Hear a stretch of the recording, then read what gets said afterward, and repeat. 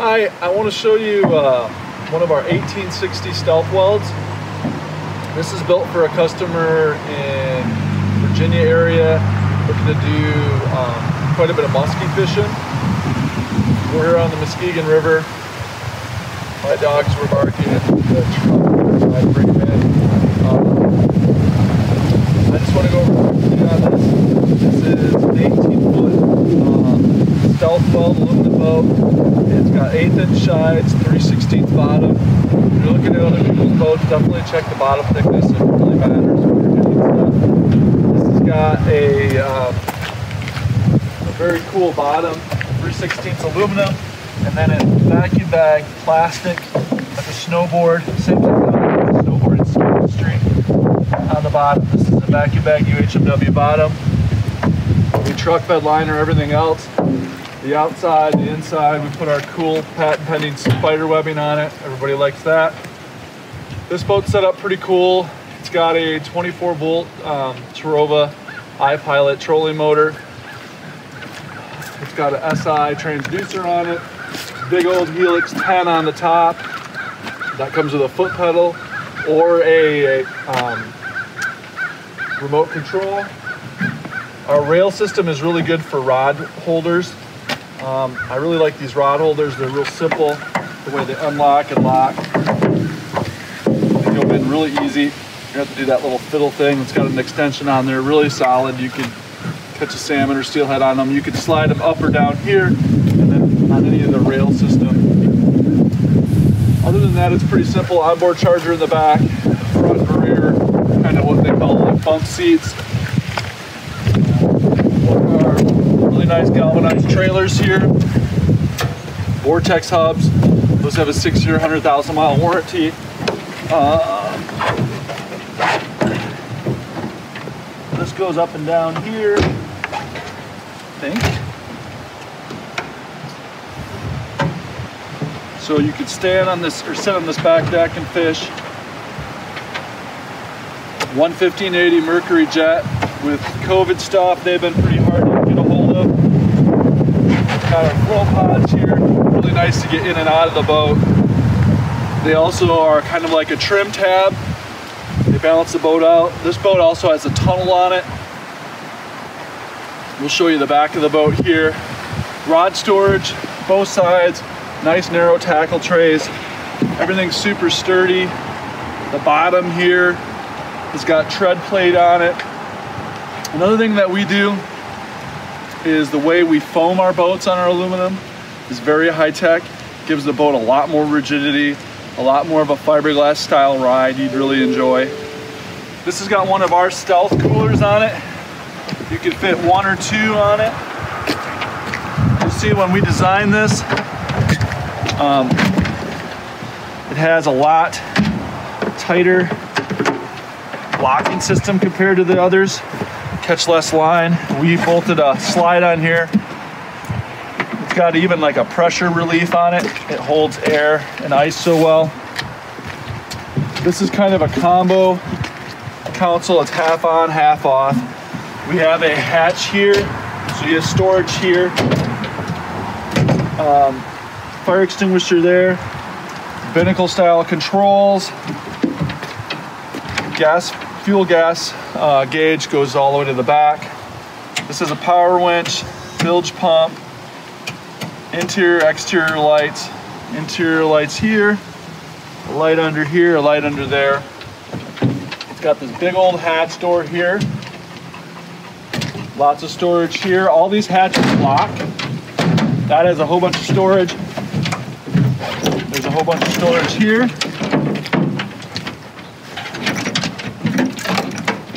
Lots of storage up there. River Larry power system. 24 volt system, so it's super fast. It's got off-road lights. These caps on here, these have 13,000 lumens on them. Just about fry your hand, but it definitely has lots of light. So everybody loves those. Once again, the interior has got a nice rugged truck bed liner, tread plate everywhere you want tread plate or diamond plate as you call. So you got lots of grip with that truck bed liner. Another one of these guys here if you want to hang out and uh, fish. I think that brings it up and down and this makes it swivel. You fish up here. This one doesn't have oar locks. This customer didn't want to mess with them. Most of our boats are set up for rowing. Terrova iPilot trolling motor we talked about. Giant TV screen, Helix 10. Mercury 11580. It's got the vessel view that you can um, run to your phone, see everything your phone, um, your boat, your motor is doing, all the codes, RPM, hours used, all kinds of stuff. You can see with the 18 foot boat, I got lots of room. Dogs are happy. Everyone's happy. This boat's got plenty of power with that motor. We'll show you that here in a little bit. We'll run it around on the river and go from there. Thank you. One thing I want to show before we take this thing on a spin is some of the back end of this because you won't be able to see it as good in the water. One really cool thing for the electronics package on our aluminum boats, we weld this piece here so the electronics package has somewhere to bolt onto that's not through the hull. Another thing really cool is this breakaway transducer. So when you hit something, it releases. One thing I want to tell guys that are buying fancy electronic systems from us is you got to remember it's a flat bottom boat. So you get to speed like maybe on plane, anything over 15 miles an hour. Sometimes you'll have a mixed reading because these are truly made for a V-bottom hull where the water is, you know, the, the transducer is farther in the water. You know, you might be right at one inch of water or less with this. So just food for thought when you're not getting really good readings at high speeds. You can still run the GPS, you can still do a whole bunch of things with it, but high speeds in a jet boat, you usually have bad readings on one of these. We'll take this thing for a spin. Float pods full of foam helps the hull go up and we got the tunnel hull here which is really nice um, uh, especially on our wider hulls I don't like it on our narrower hulls because it, you do lose a little displacement but on our wider hulls we do like the tunnels if there's a V we do not like tunnels if there's no V because it really creates the V helps the cavitation issue you do gain cavitation issues with the tunnel. That's one of the disadvantages of it. The nice thing about that V there is it pushes the water into the tunnel, so it works really nice. Um, we will show you some stuff here before it gets dark on the water. And we'll go from there. One thing people are intimidated with with some of these big boats is do they go in and off the trailer very well or how much issues is it going to be to get on and off the trailers. I'll go over typical loading and unloading on this boat. It is a big old boat, but um, it's not really that intimidating to take it on and off. If you have rollers like we do on the trailer, nice load guide so you can drive it on, makes things really easy. This is a 24 volt trolling motor, well, trolling motor and power motor. And you can see that River Larry really screams. Definitely makes it go faster.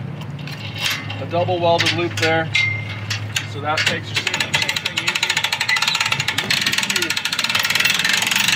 thing comes on and the really easy. I'm gonna actually stop it here so I can fire it up. Um, this this trailer is our middle of the road. It doesn't have the catwalk, which the catwalk is nice, but not necessarily a requirement. I'm gonna jump up in there, fire it up, loosen this up, drive it right up. Well, you can see I haven't, still haven't got my feet wet. Waders aren't always a a good idea, but I don't have to today. Cold out today, so make sure our big jet motor fires right up.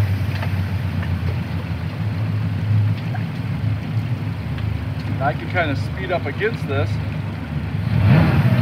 the slack out of this.